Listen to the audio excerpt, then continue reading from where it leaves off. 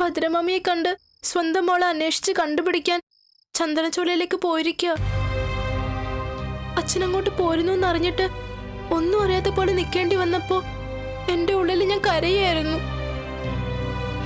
അച്ഛന് ഞാനും പറ്റിക്കാണല്ലോ എന്ന് ഓർത്തപ്പോ സങ്കടം സഹിക്കാൻ പറ്റാതായിപ്പോയി.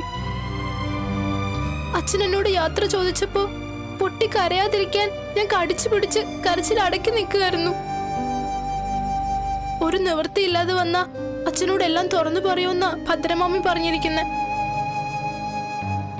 അച്ഛൻ എന്നെ മനസ്സിലാക്കുമോ അമ്മ. നന്ദിനിയുടെ മോൾ ഞാനാണെന്ന് തിരിച്ചറിയോ?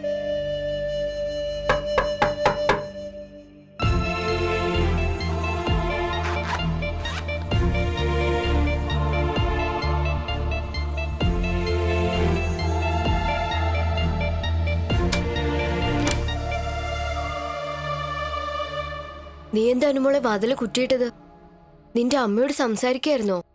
അതെ തമ്പുരു. ആ എനിക്ക് തോന്നി. ഡോറ് നോക്കിയെന്ന് ശബ്ദം കേട്ടപ്പോ മമ്മി എങ്ങാനും ആയിരിക്കും പേടിച്ചോ? ഏയ് അങ്ങനെ പേടിയൊന്നും തോന്നിയില്ല.